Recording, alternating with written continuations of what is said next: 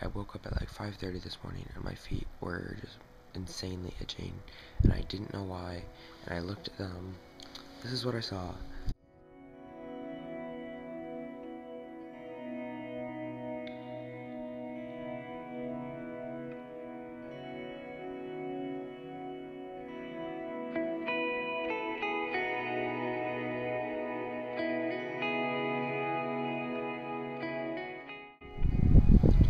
And that's kind of what, what they look like before they get all nasty.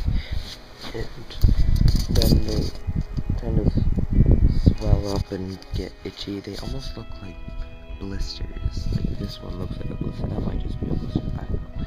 But they were just driving me nuts and really itching. And I was trying to see if I had anything I could put on them that would stop. And I found some aloe and I put that on and it stopped it for a few minutes. But then I'd have to put more on every few minutes the other stuff I had wasn't working. And so, just like, you know what? I don't know what's going on, but I'm gonna go downstairs and see if anyone's awake. And luckily they were. My host parents were awake, and unfortunately neither of them speak much English, and so we they understand a few words, but um, that we can't have a conversation in English. So I we had a translator app on Okasan's phone, and so we were trying. I was trying to explain it to her, and she was trying to um, explain back to me. They gave me some medicine that I put on it. It stopped the itching, which is good, um, and um,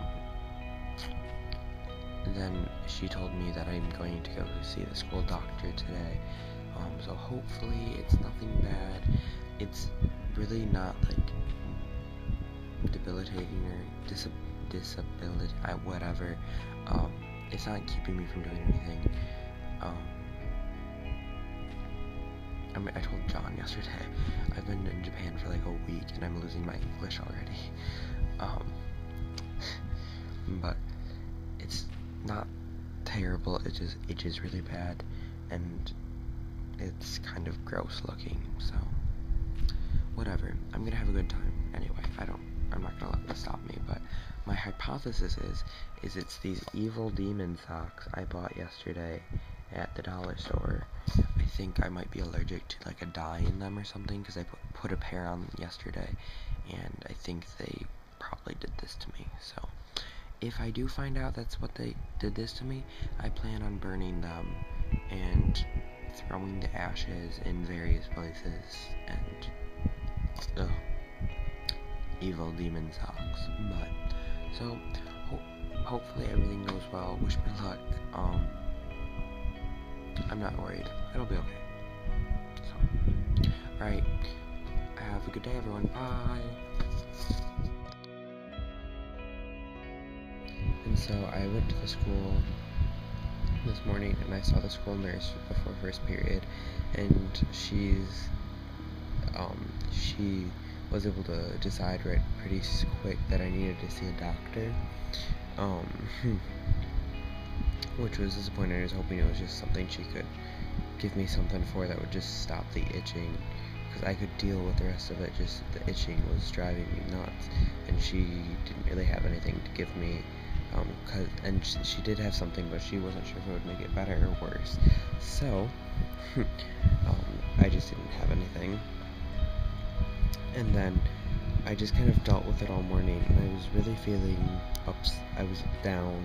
I was I was pretty sad and upset because the trip had been going really, really well, and was this has been a dream of mine for so long, and it was finally coming true, and everything was going really well, and then this happened, and it wasn't expected, and I was just kind of like, why me, why me, but um it got a little bit better as the day went on, but by lunchtime I noticed it was starting to spread to my hands, and there were little dots, I don't know, here and there. And then this thing, it's like a big one on my ring finger, so I think it's trying to marry me, whatever this rash is. But, whatever. um, it but it that was annoying when I saw that because I knew it was still getting worse and that didn't really help things. Um, but after lunch, uh, it got a little bit better. I was talking with people a lot more, and they just kind of kept my mind off it. And the itching wasn't bugging me as much because my mind was off it, and I was able to kind of have fun again and stuff. And so things were good after that. Today was a preparation day for school festival, for the culture festival we have next week, and so all we did all day was prep for that, and so I, there was a lot of sitting around. Um, so uh, it was the, you had a lot of time to kind of think about things, and that didn't help fishing. Um, but then after school was over, we went home, and we um, once we got to the house, I called my chaperones and just let them knew, let them know what was up, and that we were going to the hospital and stuff. And uh, then we went to the hospital. It was a bit of a drive. And we got there, and we had to wait around for a little bit. And once we, it was pretty busy. It's not like it wasn't what I expected. It wasn't like an American hospital it was more like an American doctor's office. It was pretty small. Um, it was basically a doctor's office, not a hospital. Um, and we, once we got called in, um, I showed the doctor, and he talked with my house parent, uh, with my host mom for a little bit, and I had no idea what was going on. And then he prescribed some stuff and we waited around for a little bit and they gave us the medicine. Um, then we went home and they gave me a cream to put on it um, in the morning and at night. And that I put it on this evening and it helped a lot. It didn't really stop the itching but it made it look a lot better right away um, you can kind of see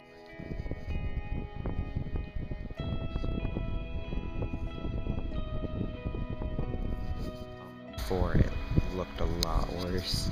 So progress, which is good. Um, and they also give me these pills that I take once a day after dinner. So hopefully the medicine will do the trick, and I'm really hoping it's gonna work fast. Then after that, we got to go to conveyor belt sushi for dinner, which was really exciting. Um, it was really fun, different than I expected. Um, all sat at the table, and then there was the conveyor belt thing, and you just took what you wanted off of it. After you ate the sushi, you had your little plate, and you, there was a little thing you dropped it down into. Oh, that was on the end of the table, and it took your plate away for you. And when you dropped it in, after you dropped so many in, there was a little screen that was had different games on it, basically. Some one of them was like a wheel that spun, another was a fishing one.